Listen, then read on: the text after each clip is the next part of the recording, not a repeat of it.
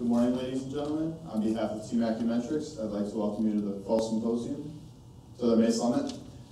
My name is Michael Magellani, and I've been working alongside John Travlin, Jeremy Peacock, Nate Mensa, and John King, and we're here to present to you our completion of a network-managed power distribution unit, also known as the AcuPDU.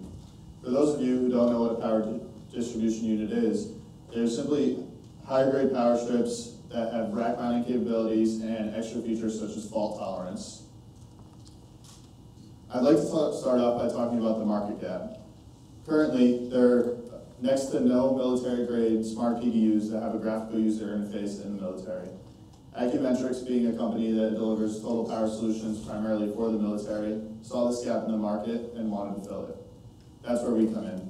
Back in the fall semester, Acumentrics tasked us with building a fully functional prototype PDU that could be remotely controlled and monitored by an application. We were given no formal schematic or further functional specifications. Despite having no previous power electronics or application design experience, Acumentrics trusted the creativity and talent of the students here at URI and gave us the freedom to build our own product from the ground up. Originally, Acumentrics had a best anticipated outcome of a fully functional prototype PDU, as well as an accompanying application that could remotely control the system with toggling outlets and monitoring statistics such as total power. Uh, we met this outcome by the fall semester, by the end of the fall semester, and decided, we as a team decided to extend this best outcome to having a functionally complete product. This functionally complete product can be seamlessly handed over to the Acumentrics team and pending verification testing and compliance testing can be posted on their website for staff. For smart hardware, we had to find a way to safely pass power through the system while also being able to collect data. We are able to incorporate key features such as voltage sensing. Voltage sensing incorporated a step-down transformer and a bridge rectifying subcircuit. We are also able to include Hall effect current sensors. Originally, our technical directors recommended we use an isolated differential amplifier.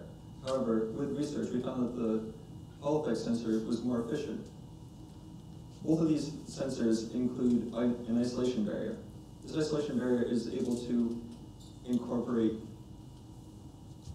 high and low voltage. This this voltage difference on the low end is able to allow us to include a include a microcontroller that is able to collect all the data to allow us to have a smart power distribution unit. Looking forward, after designing this circuit, we were able to add a auto ranging input. This auto ranging input allowed us to use our 120 volt outlet and add on 240 volt capability to be able to safely toggle between the two. Adding this feature enabled us to expand the marketability of this product to a global level. Broader impli- implications, sorry, broader implications of this. We, as it currently stands, we have eight outlets for our system. As it stands, we can expand, expand this to twelve outlets. And on top of that, we are able to add on hundred and twenty-eight possible sensors for the future development of this product. We didn't just develop a product. We made a scalable platform for future development of this system.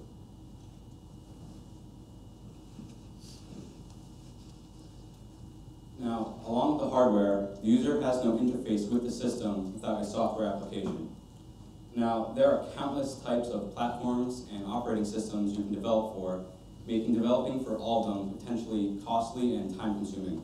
So, when deliberating over what type of application we wanted to develop, we opted for a web application.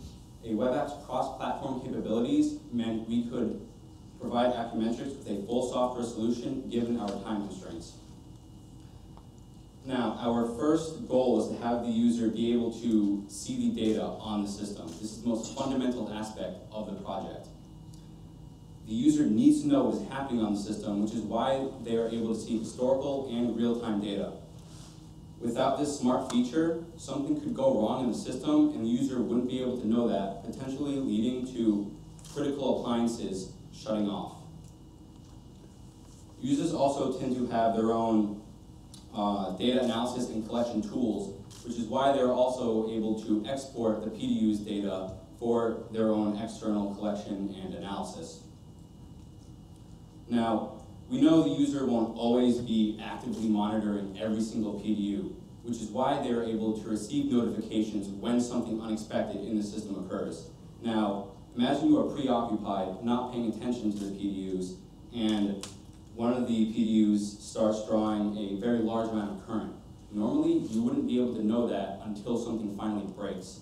But with our system, you can receive email and text notifications instantly when it happens, showing you what happened and what PDU was affected, allowing you to protect your applications on time.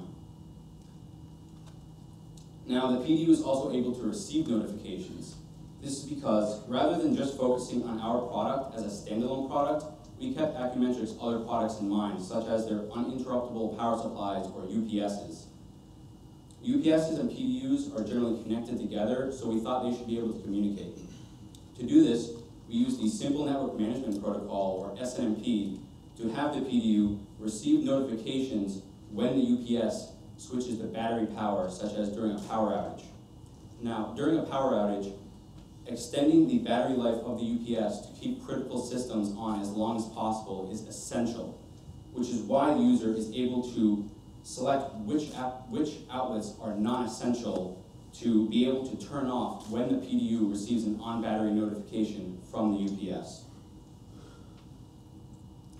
Now, we've been talking about being able to read data from the system. The user also needs to be able to interact with the system. PDUs are generally on server racks, which are physically out of the way, which is why users are able to remotely toggle outlets so they don't need to be physically at the PDU. Extending this past manual control, users are also able to automatically schedule to outlet toggling um, through an automatic scheduling functionality. Now, saving power is crucial for both the economy, for the environment, and for saving money which is why with an automatic scheduling feature, you will no longer be able to forget to turn off non-essential appliances at night as it can be automatically done for you.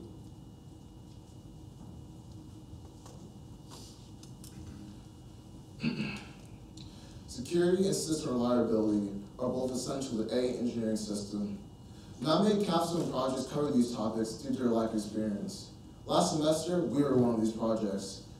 As a result, we made sure that this was a priority this semester in order to give Acumentrics a head start on non-functional requirements. To guide us, we followed the CIA triad, which stands for confidentiality, integrity, and availability. Confidentiality by preventing unauthorized users from accessing the application, integrity by making sure the verified is trustworthy and verified, and finally, availability by making sure the information is there when needed. We first tagged confidentiality by having a login system. Later expanded on that by forcing HTTPS and make sure it's a secure channel communication between user, user and server. We also allow the user to upload their own SSL certificate using the Open SSL library to verify. We, on top of that, we use the Argon 2 hashing algorithm in, in order to protect our passwords. Um, the algorithm is both computationally intensive and memory consuming, for CPUs and GPUs to brute force. Next, moving on to integrity, we use SQL prepare statements in order to defend against hackers and attackers um, from deleting data and showing passwords. Finally, on availability, to defend against website crashes or DOS attacks, we utilize a security software that block, blocks sources of network request flooding. So outside of security, uh, a key feature was our responsive web design. So no one likes going on their phone um, or snapping a window to the side uh, of their monitor and having the site become unusable. So we use CSS, a styling language, to restructure our user interface to become more um, usable and pleasing for the user, um, regardless of the screen size. So currently, we have a fully functional product. After finishing some non-functional tasks, along with sending our product through design verification testing, Acumentrics has the ability to release our product on the market and begin developing on top of our platform, which could be used as a capstone project for next year. So as we come to a close, we'd like to thank our technical directors, Brendan Smirbeck and Peter Upchek. Without their support, we would not have accomplished as much as we did.